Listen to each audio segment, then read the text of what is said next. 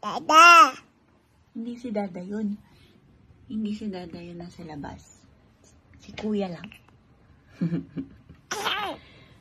Hindi si Dada yun. Nasa work si Dada.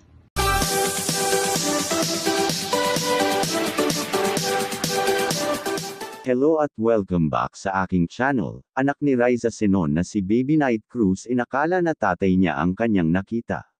Batay kasi sa ipinakita ni Riza Senon na video, makikita na nakasilip ang bata sa may bintana kaya naman inakala na tatay niya ang nakita sa labas ng kanilang bahay. Dinag na sinisigawan ni Knight ang lalaki na naglilinis sa labas at sinasabi pa na dada kaya naman nasabi ni Riza na hindi ang kanyang dada yun. Gayunpaman, sa ibang bahagi si Knight Cruz ay nakipag-video call sa kanyang tatay at ganito ang kanyang reaksyon noong nakita na ang kanyang dada. Narito at ating panuurin ang kabuuan ng video.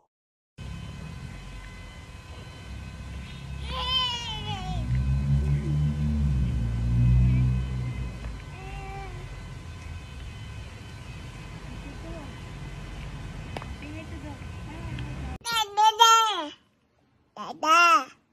Hindi si Dada yun. Hindi si Dada yun nasa labas. Si Kuya lang.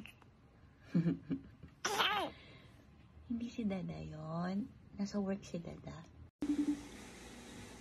Dada. Dada. Ah. Dada. Dada. Dada. Dada.